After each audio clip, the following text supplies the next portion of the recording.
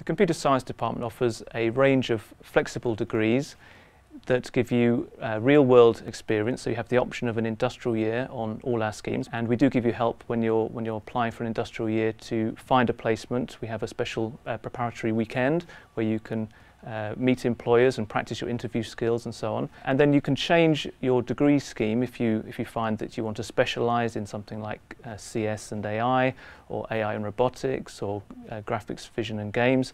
So you can change your degree or you can stay with a more sort of general purpose computer science degree. We have uh, friendly staff, we have an open door policy and a range of other ways of contacting lecturers if you have any problems and adding extra support if you need it. We're the biggest producer of graduates, of computer science graduates in Wales.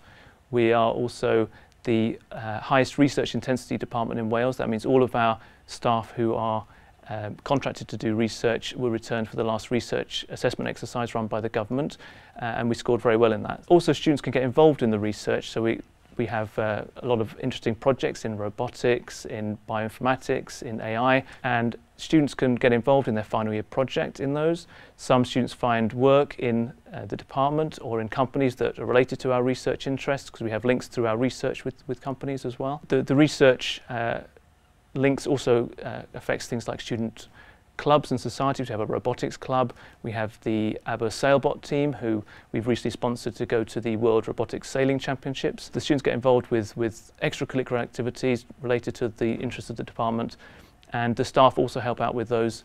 So there's a good interaction between staff and students, both within the formal lectures as well as in these other uh, areas such as uh, clubs and societies. Well, we're very happy with the computer science NSS results this year.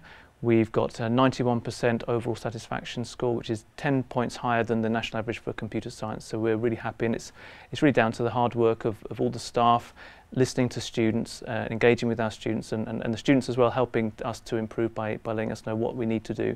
So we, we're really happy with how we're, we're doing in computer science in, the, in terms of graduating both uh, very happy students and also very employable students. So getting the balance right between employability and satisfaction. You know, we're keeping the standard of our degrees up so employers respect our degrees as well as the students having a, a, a good experience while they're here.